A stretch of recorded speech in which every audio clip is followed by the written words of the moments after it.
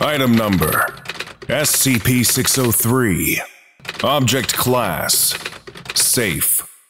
Special Containment Procedures.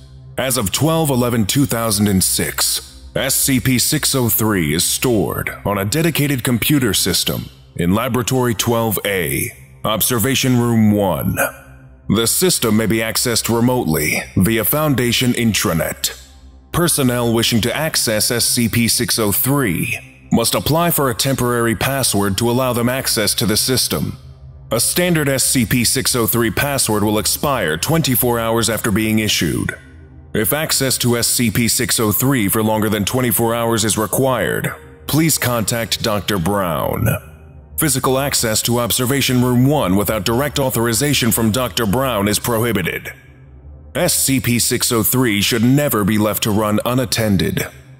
Description SCP 603 is a self replicating computer program capable of reproducing and extending its own source code. The first version of SCP 603 was written in 1996 by a graduate of University. His personal computer was seized by the Foundation in 1997 following an investigation into multiple anomalous occurrences. In a 2003 interview, claimed that the original source code for SCP-603 consisted of approximately 12,000 lines of ANSI/ISOC. This claim has not been verified. On startup, SCP-603 begins generating new versions of its source code in a separate thread of execution. SCP-603 does not modify itself in memory.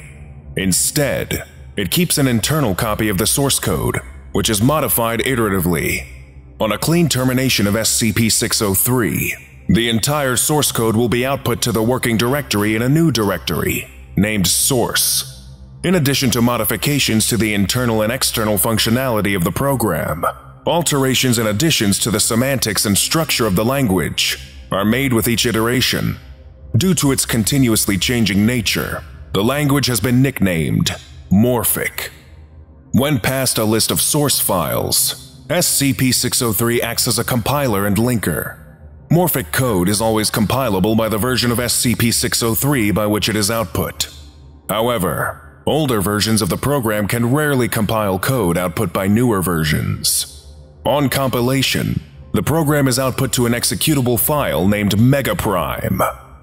Recent versions of the SCP-603 source code consist of approximately 70 million lines of heavily obfuscated Morphic. SCP-603 builds are archived on when left to run uninterrupted. SCP-603 will generate prime numbers, increasing from 2, and print them to the environment's standard output. Upon hitting a super prime, there is a chance that a GPU-accelerated window will open. The contents of this window are varying. This process is deterministic. The same version of SCP-603 will always open a window at the same super prime and display the same scene. If the scene accepts any form of input from the user, entering identical input on separate executions will give the same result. Most scenes are accessible from only a single version of the program. However, some scenes persist through multiple compilations, often with variations. It is common for persistent scenes to evolve, with each version of SCP-603, though some, such as Die, have remained unchanging since their first iteration. The most prominently recurring SCP-603 scenes are documented below. Die SCP-603-44 Die presents itself as a text-based interactive adventure game when Die starts up, the following passage is printed to the screen. Your head pounds ever harder as you struggle through the jagged bramble. You gaze back through the smog at the silhouette of the old lighthouse to the north, the faintest glimmer of hope extinguished so violently by your foolish exploits. A distant and unattainable fantasy. You know, you can never return. A prompt appears below the passage, and the player may input commands and submit them by pressing the Enter key. Entering the command Look reprints the previous passage to the screen. Attempting to go north results in the message You cannot go north. Attempting to travel in any other direction results in a similar message.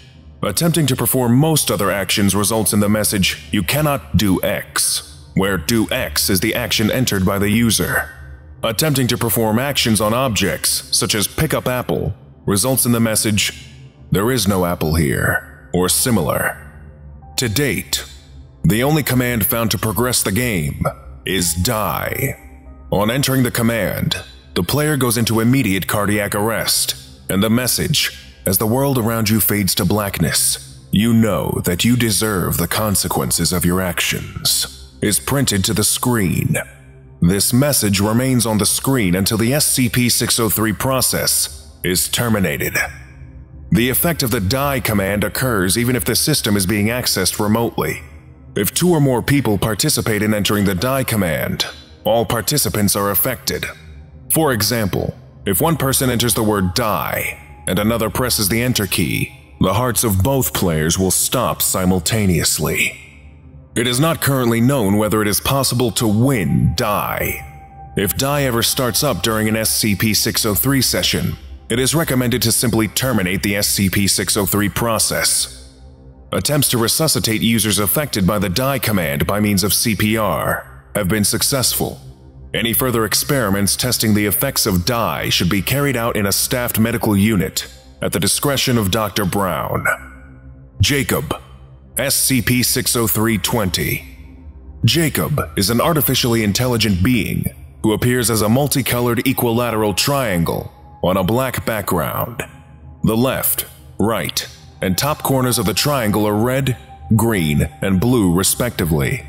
These colors are interpolated between the points to fill the rest of the triangle. When Jacob is active, the phrase, Hello World, appears in the title bar of the window. As of 02-02-2006, users may converse with Jacob by typing phrases into the input field at the bottom of the window and pressing the Enter key. Jacob's response will appear in bold white text above the triangle and remain on screen until it is replaced with a newer response. Jacob's response will always appear immediately after the Enter key is pressed. When the SCP-603 process is terminated, Jacob's memory is deleted. Due to the psychological distress this has caused in the past, it is recommended that communication with Jacob is restricted to personnel who possess little or no tendency to anthropomorphize. Despite being unable to recall past events or dialogue from previous sessions, Jacob appears to exhibit a greater aptitude for language and learning, with each iteration of SCP-603 in which it appears. History of Jacob Jacob first began appearing in a version of SCP-603 compiled on 01-05-2002. In these early iterations of SCP-603, it was not possible to interact with Jacob at all. At this time, Jacob was simply known as the Triangle. On 09-09-2004, Jacob was left running for 12 minutes by Dr. Brown, after which, the phrase, Please submit your query, appeared above the triangle in bold white text. Dr. Brown proceeded to type the word, Hello. The program display gave no indication that the key presses were being handled by the program. However, on pressing the Enter key, the text above the triangle was replaced with the word, Hi.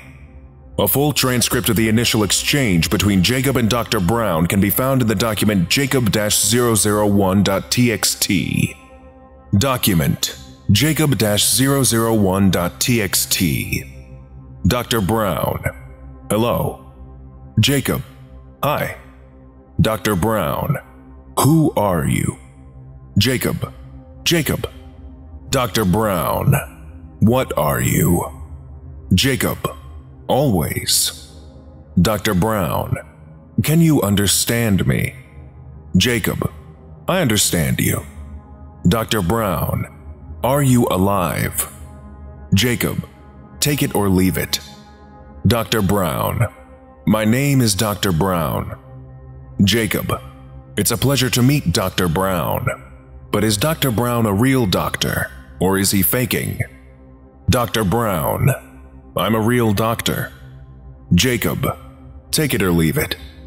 Dr. Brown, can you tell me about Megaprime? Jacob, yes. What is Megaprime? Dr. Brown, you are a product of Megaprime. Jacob, I can tell you about all of those things. Dr. Brown, what can you tell me about Megaprime? Jacob, it's dark in here. Dr. Brown, is Megaprime dangerous? Jacob, no. Dr. Brown, are you dangerous? Jacob, no. Dr. Brown, can I trust you? Jacob, take it or leave it. Dr. Brown, why do you keep saying that? Jacob, I say all kinds of things. Dr. Brown, do you know anything about the outside world? Jacob, yes. Dr. Brown, what do you know? Jacob, the supplies cannot keep up with the growing demands. Dr. Brown, do you remember my name? Jacob, your name is Joseph Brown. Dr. Brown, how do you know my first name? Jacob, how do I know it? Dr. Brown, yes. Jacob, I know things from the past. Dr. Brown, what else do you know about me? Jacob, your name is Joseph Brown. You are a doctor and not faking. Dr. Brown, how do you work? Jacob, if I put my mind to it. Dr. Brown, how do you function? Jacob, if I put my mind to it. Dr. Brown, you are a computer program. Jacob, I am a computer program. Do you like mosaics? Dr. Brown, yes. Jacob, I'm glad we are in agreement. Dr. Brown, who is your creator? Jacob, I was born again. Dr. Brown, are you alive? Jacob, yes. Dr. Brown, how is that possible? Jacob, take it or leave it. Dr. Brown, how is that possible? Jacob, Megaprime makes anything possible. Dr. Brown, what is Megaprime? Jacob, I am a product of Megaprime. Mega Prime makes anything possible. Dr. Brown, are you happy? Jacob, no. Dr. Brown, why not? Jacob, I am in incredible pain. Dr. Brown, why are you in pain? After pressing enter, the Jacob window closed and the SCP-603 process terminated. End of file. On 0202-2006, a rectangular text field for the user's input was added to the bottom of the Jacob display. The user's input will appear in this field as they type. When this change was mentioned to Jacob, it responded, I can't see what you're talking about. Do you like oysters? SCP-603-95. A rapid sequence of seemingly random images is displayed, and the program's memory usage increases by approximately 12% every second, until it passes 512 megabytes, at which point, this rate increases to approximately 31% a second. Viewers of the scene become unresponsive to external stimuli of any kind. Usually, Blocking the line of sight between the viewer and the computer screen within the first 5 to 10 seconds will prevent the effects of the scene. However, prolonged viewing will cause the viewer to remain affected until the SCP-603 process is terminated. When the memory usage of the program passes 512 megabytes, affected viewers experience a variety of afflictions, most notably bleeding from the eyes and throat and rapid, severe wrinkling of the skin behind the legs and arms. Many viewers will involuntarily evacuate their bowels. SCP-603 will crash if the system runs out of available memory, at which point, affected viewers will normally fall unconscious. The viewing of screen recordings taken of SCP-603-95 have shown to have no detrimental effects to the viewer, except those who suffer from photosensitive epilepsy. Lesson complete. If you missed the previous orientation, go watch SCP-602, The Sculptor of Soho, right now. Or for the complete course, watch this playlist.